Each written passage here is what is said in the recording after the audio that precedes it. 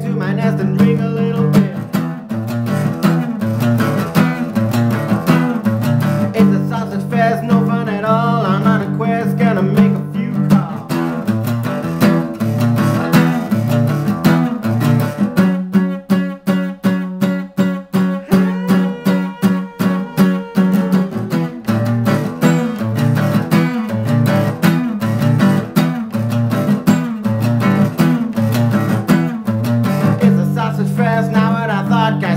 chest, right